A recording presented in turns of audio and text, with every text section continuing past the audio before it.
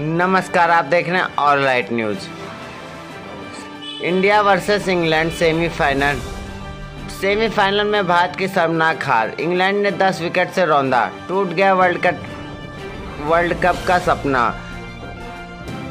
T twenty world cup 2022 में भारतीय team का सफ़र खत्म हो गया। गुरुवार को इंग्लैंड के खिलाफ हुए सेमीफाइनल में भारत की 10 विकेट से हार हुई और इंग्लैंड से फाइनल में पहुँच गया। इंग्लैंड का मुकाबला अब तेरह नवंबर को पाकिस्तान से फाइनल में होगा। सेमीफाइनल में इंग्लैंड ने भारत को हराया।